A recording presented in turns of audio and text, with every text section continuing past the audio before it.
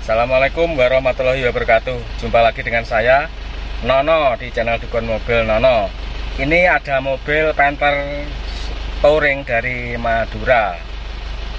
Nah ini diperiksa ke saya untuk memastikan apakah mesin ini benar-benar ngobos Karena di sana, mekanik-mekanik di sana Untuk mengatasi masalah ngebul di Sogouli itu harus turun mesin katanya.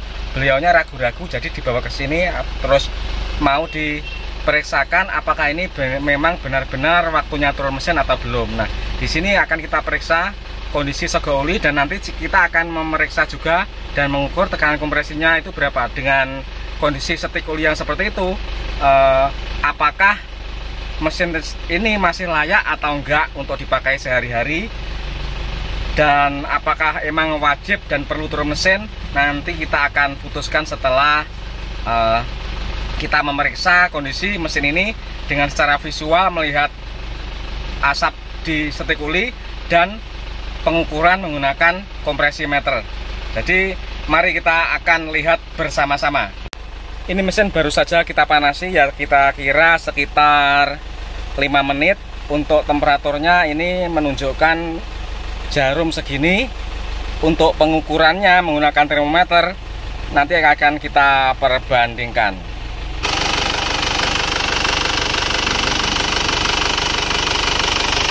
Ini mesinnya 62 derajat. Ya belum terlalu panas. Mari kita lihat asap di sini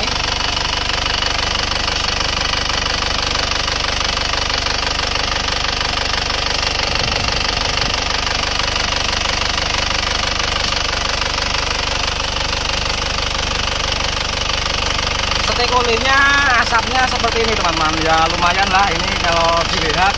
Memang kurang enak dipandang-pandang. Jadi seperti menyembur gitu ya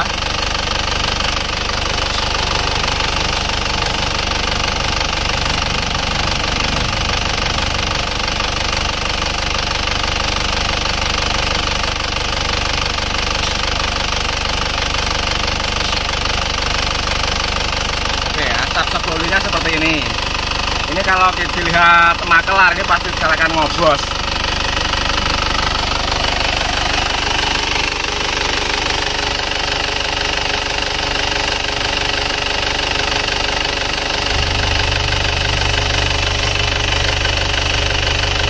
untuk isian uli asapnya seperti ini.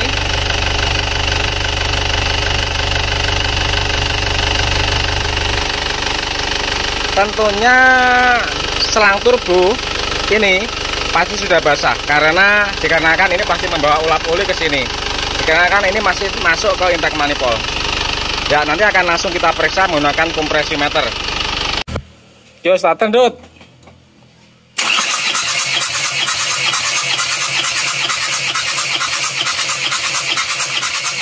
Oh, wes. 6 likur. Ya, batasnya kan di 20 satu. Yo, amal loro yo.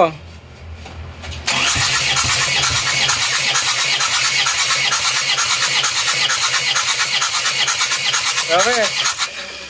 6 likur. Nomor telu.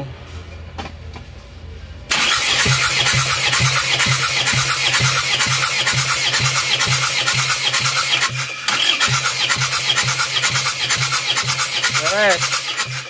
Likur masih iki lho sing rada ndek. Yo starter yo.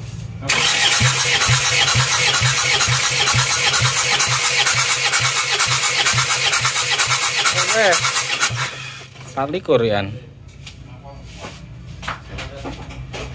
Nah, jadi kesimpulan apakah yang didapat dari pengukuran kita tersebut, teman-teman ya? Jadi Panther Touring ini apabila kita ukur tekanan kompresinya itu uh, yang 12 adalah 26 sedangkan yang 34 adalah 24. Nah, sedangkan menurut uh, spesifikasi minimal tekanan kompresi itu ada di 21 atau 22 terus maksimalnya itu ada di uh, 28 sampai 30 bar. Jadi seperti itu. Nah, berarti kalau tekanan kompresi itu ada di 24 berarti itu artinya apa? Artinya berarti kondisi mesin tersebut menurut saya pada kondisi 50% karena uh, kalau 30 itu 30 dan 28 itu antara 90 dan sampai 100%. Nah, kalau uh, 20, 21 sampai 22 itu adalah kondisi mesin yang harus wajib turun mesin atau 10% lah kira-kira.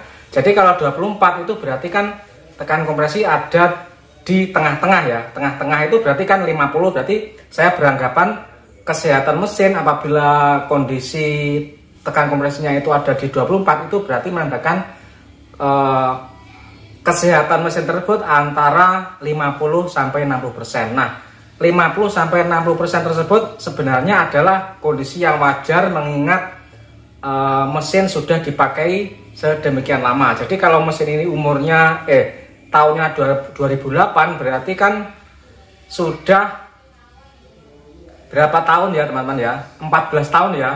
Berarti sudah berumur 14 tahun. 14 tahun ada penurunan performa sekitar jadi 50 per, 50 sampai 60% itu adalah hal yang wajar. Nah, sebenarnya hal tersebut tidaklah menjadi masalah apabila mesin tersebut kita pakai sendiri, kita gunakan sendiri dan tidak kita perjualbelikan.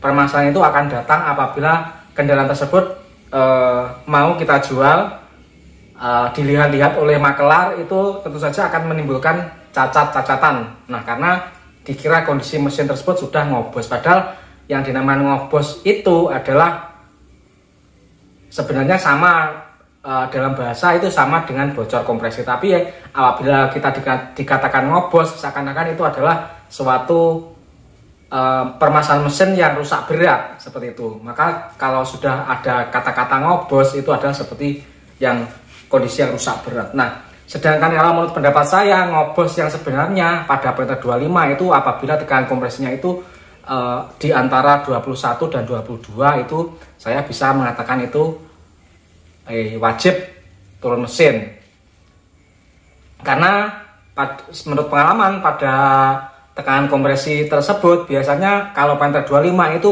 kondisi setat itu biasanya tidak langsung hidup jereng tapi agak panjang ya jereng gitu biasanya seperti itu nah kalau mesin kondisi tekanan kompresinya itu masih di 24 itu biasanya masih cegreng ya walaupun ngasap itu masih cegreng nah eh, dalam hal ini kita tidak bisa menyarankan apa-apa kepada pelanggan kecuali hanya e, memberitahukan kondisi yang sebenarnya bahwa mesin tersebut kondisinya antara 50 sampai 60 persen.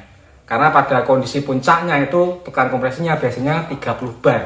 30 bar pada kondisi mesin yang sehat. Jadi kalau kita baru turun mesin, tekan kompresi yang kita ukur biasanya itu 28 bar. Tetapi apabila mesin itu sudah dipakai, sudah berbulan-bulan itu dipakai itu antara ring shaker dan liner itu menjadi semakin rapat biasanya meningkat menjadi 30 bar sesuai dengan spesifikasi yang tertulis di buku manual biasanya seperti itu jadi alat ukur itu sangatlah penting untuk menganalisa suatu kendaraan nah Apakah tekan kompresi 24 tersebut tidak bisa dioptimalkan? Sebenarnya bisa. Tekan kompresi tersebut adalah tekan kompresi yang masih mampu membakar solar dengan baik sebenarnya.